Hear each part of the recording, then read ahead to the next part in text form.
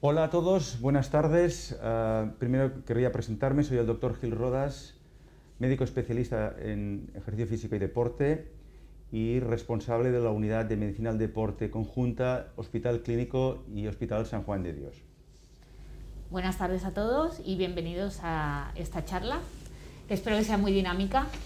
Eh, mi nombre es Eva Ferrer, soy médico especialista en medicina del deporte y también formo parte de la unidad conjunta de Hospital Clinic San John de Déu. Empezaremos este directo para resolver vuestras dudas y preguntas respecto al ejercicio físico, que realmente está todo muy, muy relacionado con nuestro estado de salud. Tanto la falta como el exceso. Eso es importante recalcarlo. Tanto una cosa como la otra deben estar controladas y deben estar supervisadas. Así que abordaremos este tema y algunos más y empezamos resolviendo preguntas. Doctor Rodas, cuando quieras. Gracias, Eva. A ver, las primeras preguntas eh, han sido sobre todo porque hay un poco de confusión entre lo que es hacer actividad física y hacer ejercicio físico y hacer deporte. Quizá, eh, y esto lo podéis encontrar muy bien escrito en el portal Clinic, en el apartado de medicina al deporte, y veréis que actividad física es cualquier movimiento corporal que realizamos en nuestro, por ejemplo, el día a día. Cuando yo lavo unos platos o hago la cama, estoy haciendo una actividad física, muevo mis músculos, lo que implica pues que mi corazón, mis pulmones, mis músculos vayan, se, activen. Cuando esta actividad física yo la intento de alguna forma programar, estructurar, eso sería ejercicio físico. Y cuando este ejercicio físico yo ya lo realizo para intentar llegar a competir, entonces le hablamos de deporte. ¿Vale?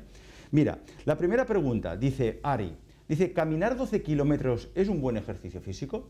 Pues claro que sí. Neus me dice, caminar para ir a los sitios como comprar mm, o, ir al trabajo, ¿se puede considerar un ejercicio físico? ¿O solamente sería una actividad física? Bueno, si, ir al trabajo caminando es una actividad física que incluso puede ser moderada e incluso vigorosa, si la hago realmente a un ritmo fuerte. Para que se considere ejercicio físico, sería que tú te propones hacer una actividad física como es ir cada día al trabajo de, alguna forma cronometrada. Media hora cada día yo hago este tipo de actividad física vigorosa que es ir caminando al trabajo. Esto podríamos considerar un, ejercicio físico. ¿Vale? Luisa nos dice, ¿a partir de cuántos pasos se considera hacer un ejercicio físico? ¿Es verdad lo de los 10.000 pasos? Pues mira, Luisa, Creo que te he contestado un poquito antes, ¿no? Es decir, nosotros para hacer una actividad física, pues sería, los, pasos no importan, no hay un límite de pasos.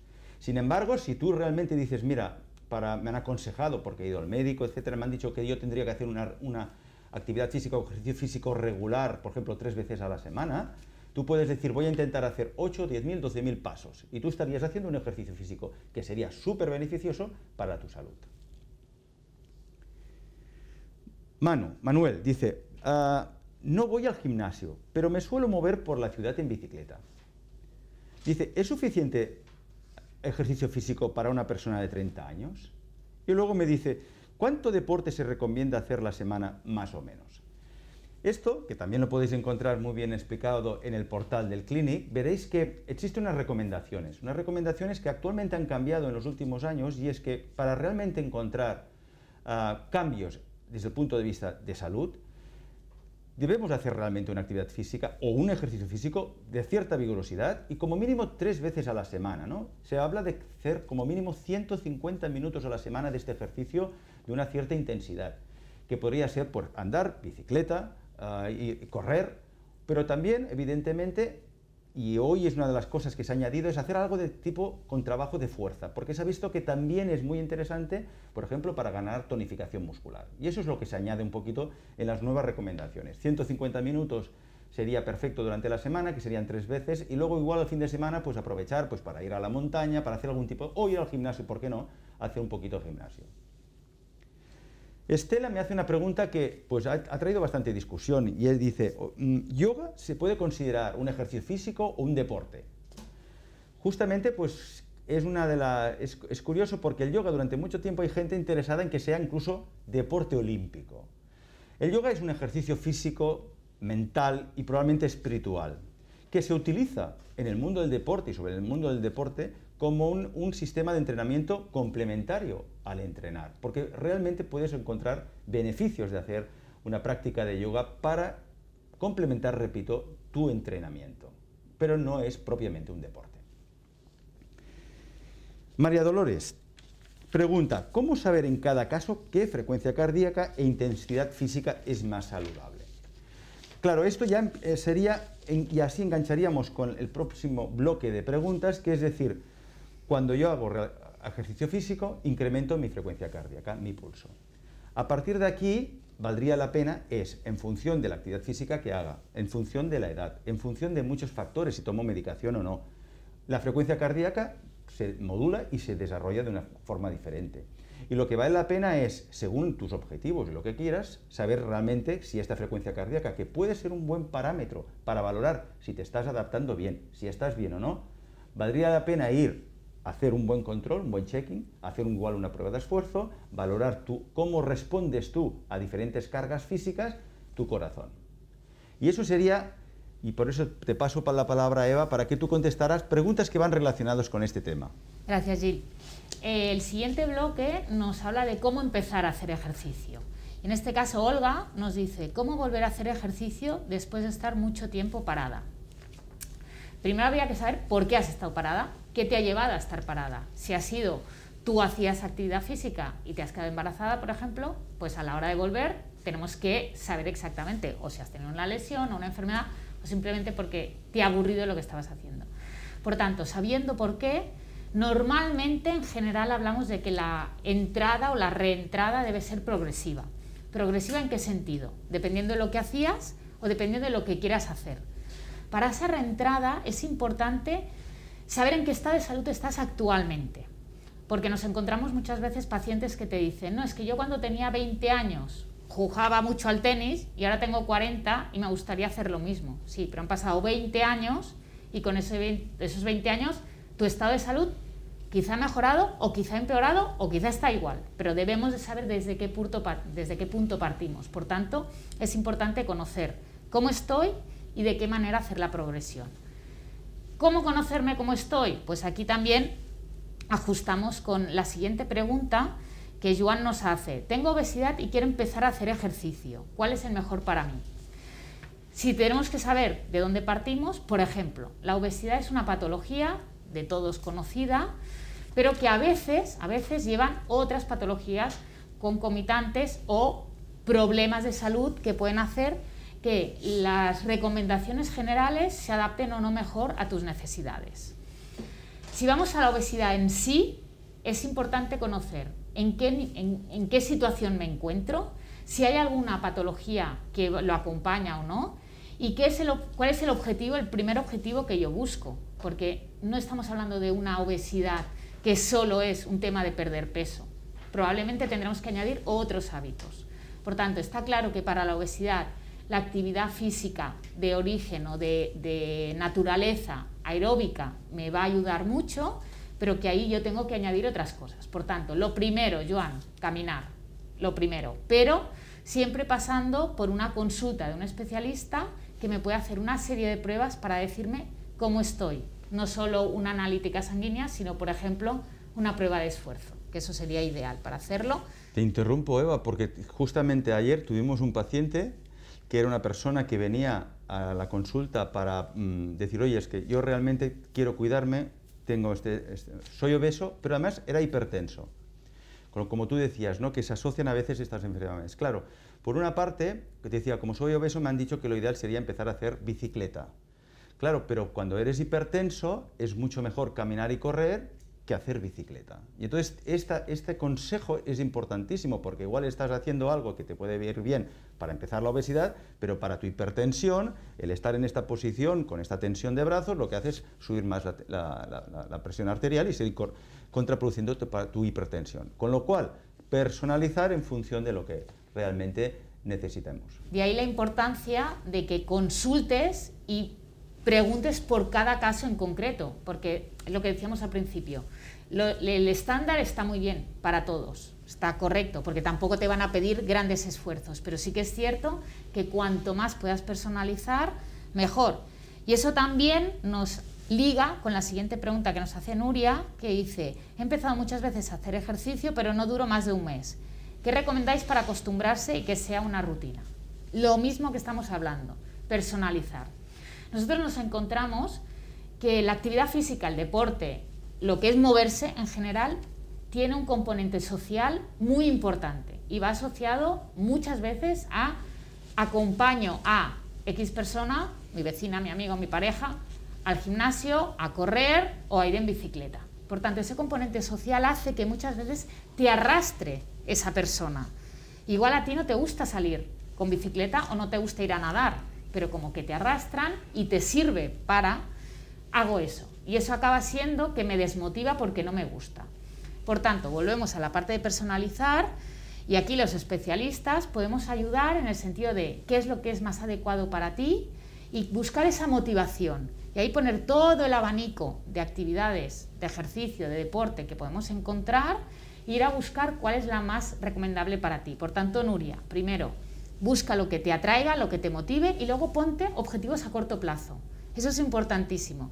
Si tú, uno de los objetivos en general, y más que ahora ya viene Navidad y principio de año, es voy a apuntarme a un gimnasio para perder peso, que si lo buscas en la lista es uno de los primeros, eh, perder peso es muy genérico. Tengo que acotar. Y vamos a hacer pequeños pasitos, pequeños goals, pequeñas metas, para que no te resulte aburrido y que puedas ir consiguiendo ese objetivo y evidentemente eso motivacional. ¿Cómo trasladamos esos hábitos? Nos pregunta Selma. Pues ah, evidentemente es primero que ese hábito lo empecemos a hacer si puede ser desde bien pequeñitos. Y ahí entra la familia. La importancia de la familia. Si una familia es una familia activa en general, toda la familia se mueve, desde los más pequeños hasta los más mayores, empezarán a coger esos hábitos. Por tanto, debemos hacer que las familias sean activas para que uno crezca y sea activo. Si tú ya eres adulto, entonces hay que buscar motivaciones y actividades que te sean atrayentes, que te atraigan. Y aquí pasamos al siguiente bloque, Gil.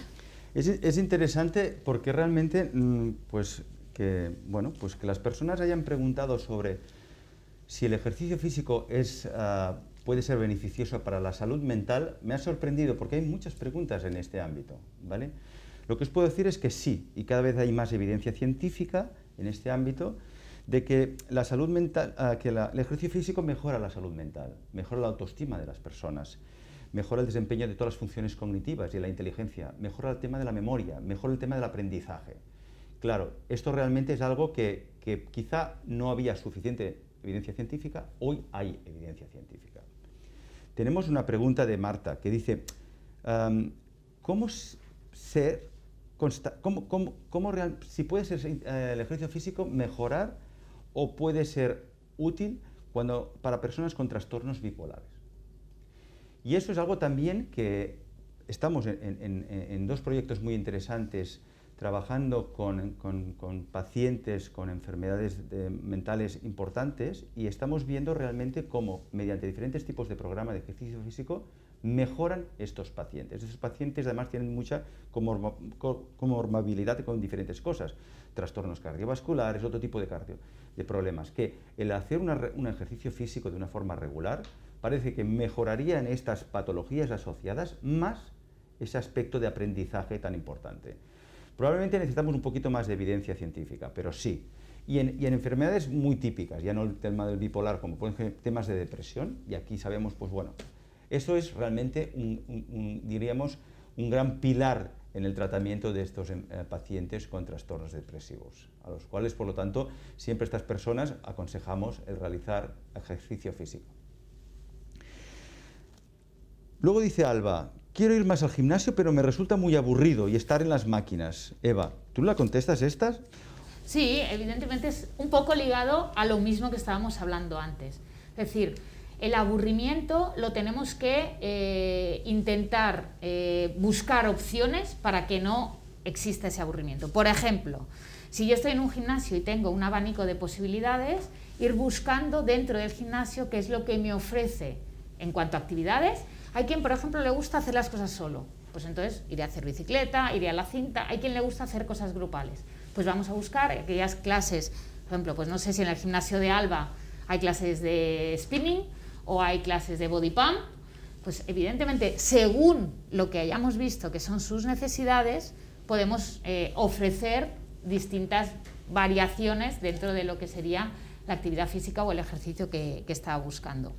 Y Georgina, hablando también del gimnasio, dice que no tiene tiempo para ir al gimnasio en este caso, pero que puede hacer ejercicio en casa y tiene miedo de lesionarse, quizá porque no tiene esa supervisión, esa tranquilidad. Bueno, lo primero es, ¿te conoces? ¿Sabes qué necesitas? ¿Sabes en qué momento estás? Bien, si es así, entonces vamos a buscar las opciones. Lesionarte, ¿de qué estamos, o sea, qué, qué lesión puedes tener? ¿Qué lesión tan grave te puede ocurrir? Ese miedo que puede tener esa persona a lesionarse, quizás se podría desaparecer o reducir si vas a consultar primero y alguien te da unas pautas de cómo poder hacer eh, lo que ella tenga en mente hacer en casa. Por tanto, es bueno hacer ejercicio en casa. Sabemos que con la pandemia ha sido un boom, incluso que se podían cosas por internet y no había. Y la pandemia nos ha traído dos cosas buenas también. Una es que la, gente se ha activado mucho en casa y luego ha seguido haciendo actividad y luego que ese mismo hábito ya lo han mantenido. También es verdad que se ha hecho sin consultar y en ocasiones, pues quizá ese miedo que Georgina nos comentaba, pues se ha agravado un poquitín. Claro, Chema nos pregunta, ¿y hay un límite en hacer ejercicio físico?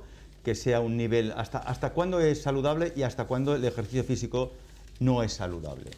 Claro, Chema, esto es una pregunta y de un gran debate, ¿no? Y eso a veces se transforma en si el deporte de alto nivel es sano o no es sano, ¿no? Yo lo que, un, mensaje, estudios científicos demuestran que los deportistas olímpicos viven más años que los que no son olímpicos. Eso, con lo cual, el deporte es bueno, lo que pasa es que hay que adecuarlo a cada uno. Por eso la doctora Eva Ferrer os aconsejamos hacer ejercicio físico y hacer deporte, siempre bajo la supervisión de un profesional que te ayudará a valorar qué factores de riesgo puedes tú tener si haces alguna cosa incorrecta, para que este ejercicio físico realmente sea positivo para tu salud, físico y mental, y que este ejercicio físico sea eh, esté tan bien controlado que minimicemos al máximo posible el riesgo de sufrir lesiones o el riesgo de sufrir patología propia por haber hecho un ejercicio físico. ¿Vale? Yo creo que podríamos cerrar, si te parece bien, Jill, con una pregunta que hace Sergi, que dice, trabajo ocho horas sentado. Yo creo que la mayoría de personas en este mundo trabajan ocho horas o más sentado y nos dice, y siento que me se me agarrotan las piernas y me duele la espalda al acabar la jornada. ¿Alguna recomendación? Lo primero es, se aconseja que cada X tiempo, media hora más o menos, te levantes y andes un poquitín. En aquellas oficinas que existen escaleras, sube y baja escaleras. En aquellas eh, oficinas que puedes hacer reuniones de pie, hay em, empresas que promocionan las reuniones de pie por dos razones. Una, porque estás un poquito más activo y dos, porque no se alargan tanto, porque cuando te sientas y te apoltronas, se alargan las reuniones. Y si las haces de pie, la gente al final está más incómodo y te mueves. Evidentemente existen, por ejemplo, estiramientos que puedo hacer. Si entiendo que se está ocho horas sentado, puede ser que esté trabajando con el ordenador. Por ejemplo, ejercicios que te pueden ayudar. Estirar así o estirar. Eso es muy fácil, porque si estoy con el mouse, evidentemente me va a molestar la muñeca. Él hablaba de la espalda. Evidentemente, si tú puedes añadir en casa estiramientos 10 minutitos cada mañana antes de ir a trabajar, esos 10 minutos se van sumando y te van a ayudar. Por tanto, al final es ir a buscar aquellas pequeñas cosas que te pueden ayudar entre, en tu día a día. Eva, el tiempo se acaba. Se, ha terminado y la verdad es que ha pasado volando y ojalá podamos contestar más preguntas en un futuro, porque yo creo que realmente la sociedad tiene necesidad de saber más sobre eh, el tema del ejercicio físico y el deporte y cómo combinarlo en su, en su vida. Entonces, no sé, espero que hayamos podido resolver todas estas preguntas, que hayan estado contentos, pues Gemma, Alba, con la contestación que hemos dado. Y no sé, espero que, todos estéis ah, ah, con, con ganas de participar en próximos charlas de este tipo. Muchas gracias a todos y buenas tardes. Adiós.